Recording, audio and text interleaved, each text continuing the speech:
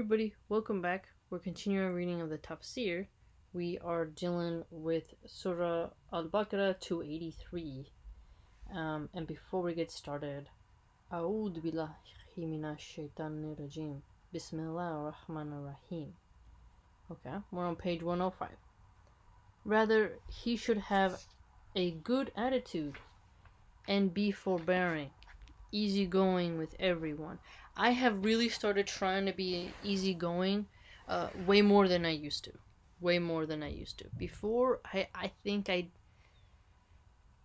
I think when I, I, I added a tension to an atmosphere or a lust tension, and now it's turned to a more peaceful one.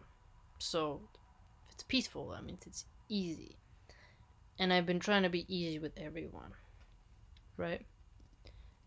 And patient in the face of any annoyance he encounters from people, in obedience to the command of Allah and in hope of attaining his reward. Then Allah enjoined them to establish prayer and give zakah because of what has been discussed above, namely that prayer is indicative of sincere devotion to Allah and zakah is indicative of kindness towards other people. So you put your money where your mouth is, but you also put your mouth where your money is in the same token, right? That's how I see it. Um, yeah, I I feel good when I organize my schedule to make it so I could do most of the prayers. Yeah, right. And then if I if I can't do it, I make up for them with, you know, how you're supposed to make up for it.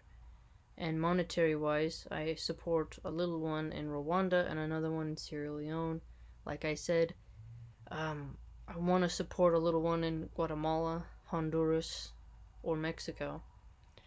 Uh, the next opportunity that I get, but I can't do that until I know the economy's not going to lock back down again. Because um, you that's intense. It's it's that's an intense situation, and I never want to have to cut off aid um, I stood in the food line and kept my donations going. So I was very happy about that when we were on the height of the lockdown. And when things were just crashing in the economy. Um, so, yes, I make sure to do that. So I organize my schedule, showing severe devotion to Allah, and I give as a zakah um, to the little ones, little adorable kids.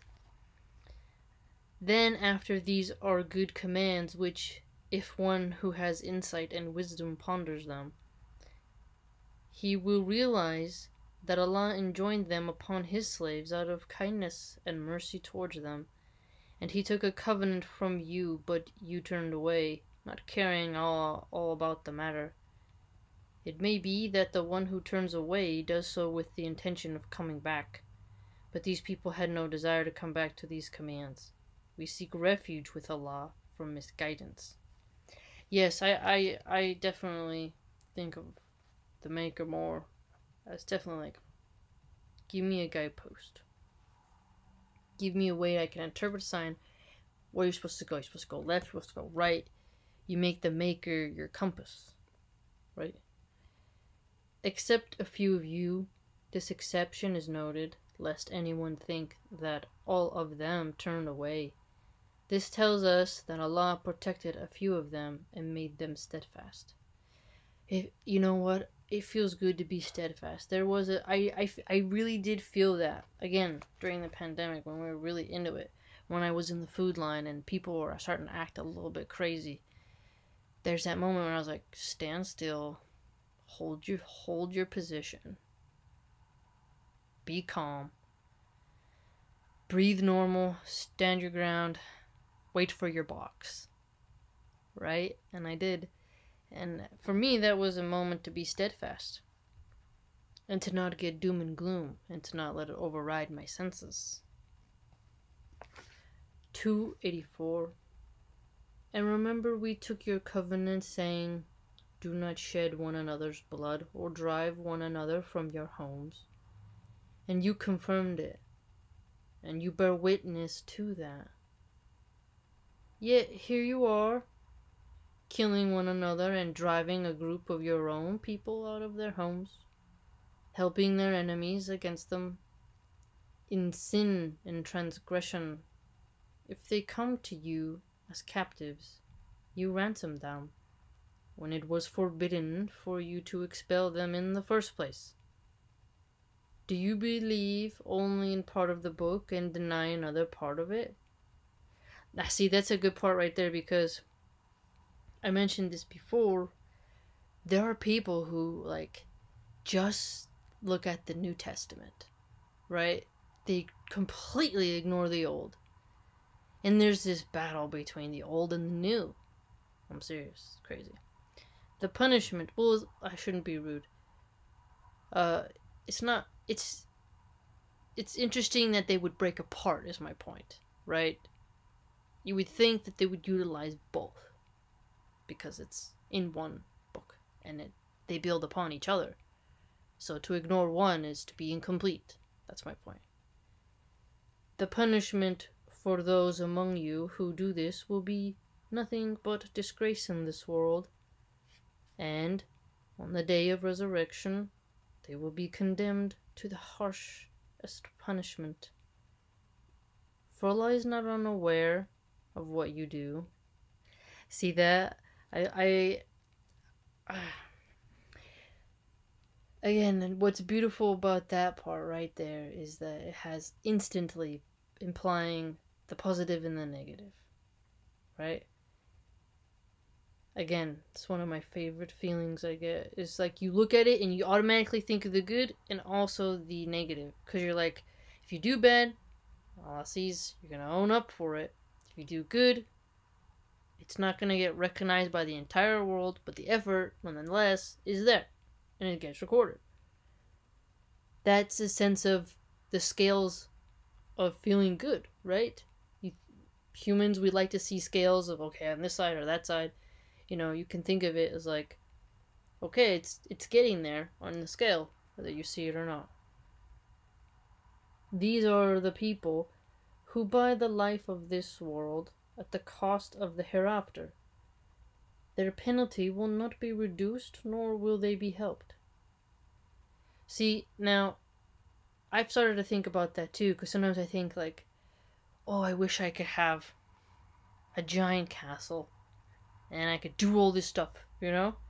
And it's like, mm, if you got that, you'd be tested by it, and I might fail the test, and that's gonna like take away from something that I could have in the hereafter, when a more smaller, not castle will do just fine. You know what I mean? So sometimes we can want something, and then you have to think like, could you really handle it? Like, no.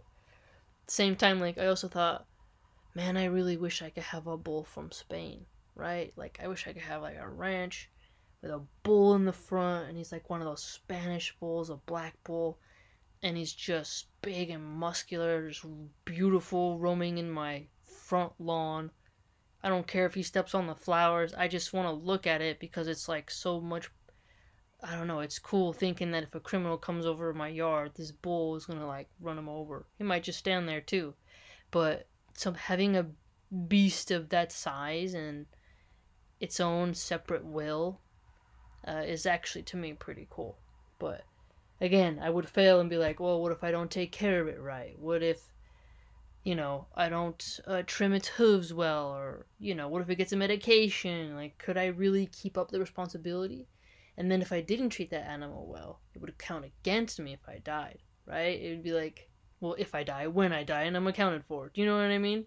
So it's like, you know, you have to be careful what you desire because if you get it, whew, you might have done better in your overall scaling if you would have never asked for it, right?